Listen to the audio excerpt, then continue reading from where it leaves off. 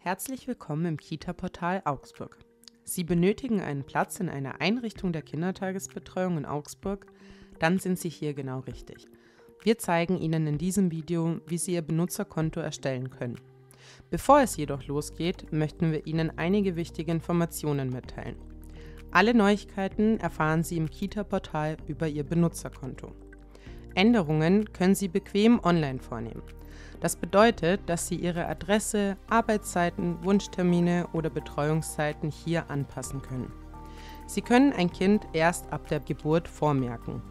Außerdem ist der Zeitraum für Vormerkungen von Januar bis Februar für einen Platz im gleichen Jahr. Auf der Kita-Portal-Startseite finden Sie oben rechts den Button Mein Konto. Wenn Sie dort draufklicken, erscheint die Option Jetzt registrieren. Klicken Sie auf Jetzt registrieren. Als nächstes öffnet sich das Fenster für E-Mail-Adresse und Passwort. Bitte füllen Sie alle Felder korrekt aus und setzen Sie dann das Häkchen für die datenschutzrechtliche Einwilligungserklärung.